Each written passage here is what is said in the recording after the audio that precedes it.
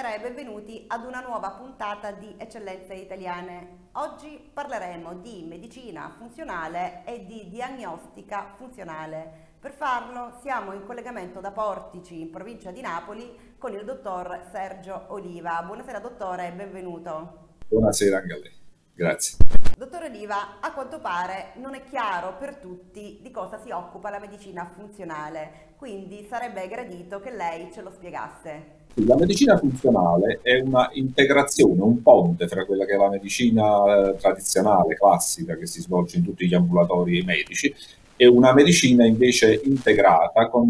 medicine eh, di altre culture, magari con la medicina tradizionale cinese, eh, con eh, l'agopuntura, eh, con, una, con l'omeopatia, con l'omotossicologia. Quindi è un concetto di medicina eh, che serve a integrare la medicina tradizionale e soprattutto a valutare eh, quelle che sono le patologie eh, funzionali che rappresentano oggi nella società attuale quasi il 70% delle patologie a cui andiamo incontro, che osserviamo nei pazienti. Sono quelle patologie in cui ancora non è, è presente un uh, danno magari organico uh, riscontrabile con una normale indagine che può essere una visita, un elettrocardiogramma, una spirometria, un attacco, una risonanza magnetica. Ma uh, esistono dei disturbi ben codificati, ben chiari, che il paziente elenca e a cui spesso non si riesce a dare una risposta, se non una, una risposta che a volte è semplicemente sintomatica quando invece a queste eh, manifestazioni è possibile dare una risposta di tipo funzionale, cioè una risposta che ehm, si può dare solo se si vanno a cercare determinate concatenazioni sia di cause eh, sia di determinate ehm, patologie che possono sottostare a questi sintomi funzionali, che sono rilevabili sia con un'accurata anamnesi sia con alcuni accertamenti diagnostici che sono propri della medicina funzionale. Quindi, dottore, mi spieghi meglio, quando si parla di medicina funzionale il paziente si guarda nella sua totalità. Sì, è una, una visione che si chiama olistica diciamo, del, del paziente, in cui diciamo, l'ascolto è una delle componenti fondamentali, eh, spesso trascurate negli ambulatori eh, medici. Un ascolto che però a 360 gradi ed evidenziando eh, quelle che sono delle eh, peculiarità che non eh, vengono fuori in un normale colloquio eh, medico. Uh, un esempio, si deve indagare per esempio sulla presenza di uh, focolai, foci, questi vengono in medicina funzionale, possono essere un granuloma dentario, può essere una sinusite cronica, può essere una cicatrice patologica, può essere la presenza di tossine diciamo ambientali, che possono essere pesticidi, possono essere metalli pesanti, possono essere otturazioni in amalgame, che quindi possono rilasciare metalli pesanti nell'organismo, presenza appunto di metalli pesanti nell'organismo, eh, presenza di cicatrici patologiche. Le cicatrici patologiche, per esempio, possono interrompere determinati circuiti energetici nell'organismo, eh, che sono i mediani dell'agopuntura praticamente, e quindi creare dei disturbi funzionali che possono precedere, a volte anche di molti mesi o anni, eh, una lesione strutturale del, dell'organismo che poi è rilevabile invece con indagini eh, della medicina tradizionale. Um,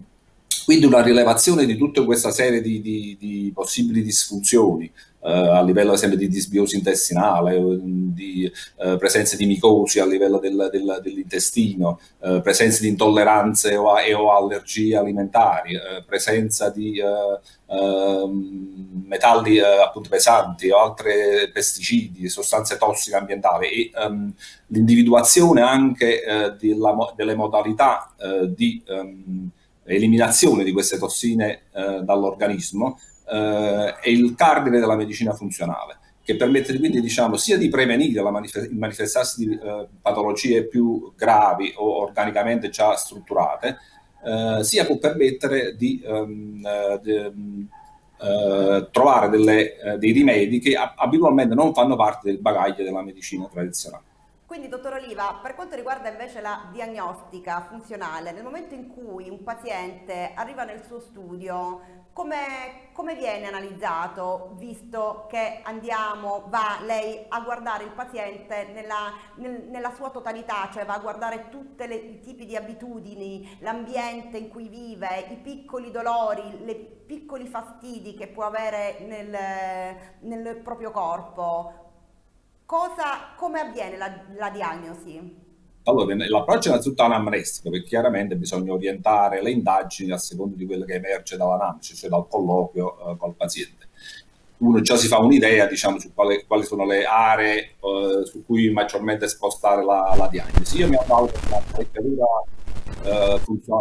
molto avanzata, che è stata, mh, si chiama VegaCheck, è stata mh, fabbricata, ideata in Germania già dagli anni 80 eh, e ha una statistica ormai su molte, parecchie migliaia di, di, di, di pazienti.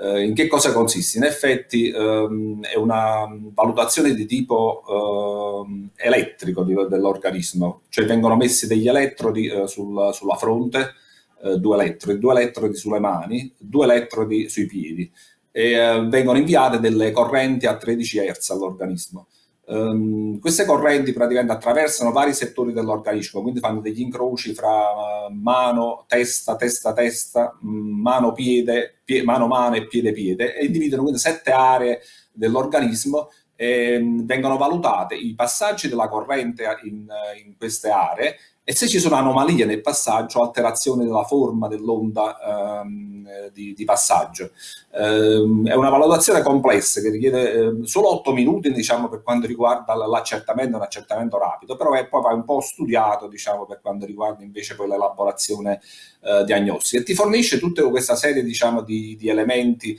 ehm, che abbiamo visto prima, di cui abbiamo parlato prima, eh, cioè se ci sono intossicazioni, se ci sono cicatrici, se ci sono foci, se ci sono eh, degli organi che stanno più in sofferenza e quindi quelli che si chiamano cuori di catena causale, cioè quello, gli organi da cui è cominciato tutto il, il, processo di disturbo, poi che può essere anche a distanza dall'organo eh, che in quel momento appare eh, sofferente. Ehm, la, la, diagnostica attraverso questa apparecchiatura che si chiama VegaCheck ehm, eh, permette anche eh, di dare delle elaborazioni poi eh, terapeutiche, eh, cioè ti suggerisce le aree da andare a trattare per prima, eh, ti dice quali sono le aree che ehm, sull'acuto stanno dando problemi, quali sono le aree invece che danno un disturbo cronico all'organismo. Inoltre l'apparecchiatura permette anche di dare una diagnosi eh, diciamo dello stato energetico del paziente, cioè ti dice pure se il paziente ha una vitalità, un indice di vitalità che può essere eh, intorno al, per esempio al 60, 70%, 80%, una vitalità normale, o addirittura vitalità molto più bassa, intorno al, dal 50% in giù, che indica quindi anche le riserve energetiche dell'organismo. Inoltre l'apparecchiatura permette anche di dare degli stress all'organismo, cioè ti, ti stressa quelle aree e vedere come reagiscono allo stress. Eh, quindi è in, grado di valutare anche le riserve funzionali di tutti gli organi e gli apparati eh, dell'organismo. Quindi ti dà delle risoluzioni, eh, ti, ti, dice di andare a indagare magari sui, sui denti, se c'è una granuloma apicale, ti dice se c'è una tendenza alle allergie, se c'è una tendenza alle intossicazioni, se c'è una tendenza alle disbiosi intestinali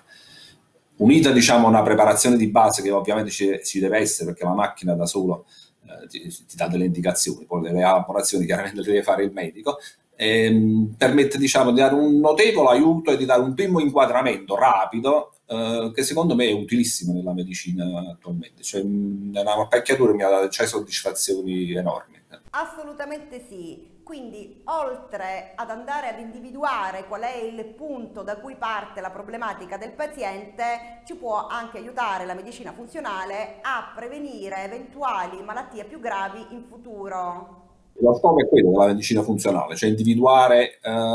aree che possono disturbare a distanza, dare di, quelli che sono dei disturbi appunto funzionali, magari ancora nelle malattie non consolidate, oppure nelle malattie consolidate, di evitare aggravamenti eh, cercando di rimuovere quelle che sono le cause a monte delle patologie. L'errore più grande della medicina attuale è quello di essere una medicina eh, legata ai sintomi.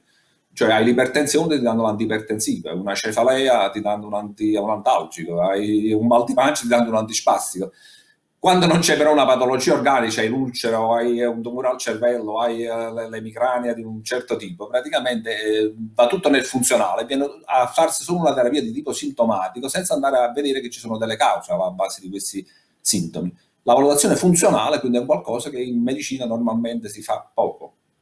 Dottor Oliva, io la ringrazio per averci parlato di un argomento così interessante e la ringrazio per essere stato con noi oggi. Grazie a lei, arrivederci, buonasera. E grazie a tutti i nostri telespettatori per averci seguito fino a questo momento. Vi ricordo che potete vedere le repliche delle nostre puntate sul portale medicina365.it. Vi do appuntamento alla prossima puntata e vi auguro un buon proseguimento di serata.